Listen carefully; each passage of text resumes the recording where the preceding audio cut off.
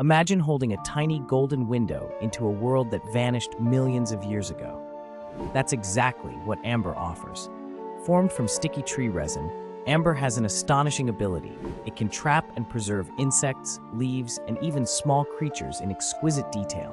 When resin oozes down a tree trunk, it sometimes ensnares an ant, a delicate flower, or even a tiny lizard struggling to escape. Over countless years, the resin hardens and, buried beneath layers of earth and sediment, slowly transforms into amber. What's truly mind-blowing is the clarity. Scientists have discovered feathers, pollen, and entire ecosystems perfectly frozen, as if time itself paused in an instant.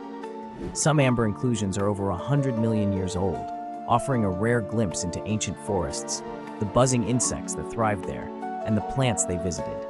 Through these golden gems, we see not just fossils, but vivid snapshots of prehistoric life in astonishing color and detail.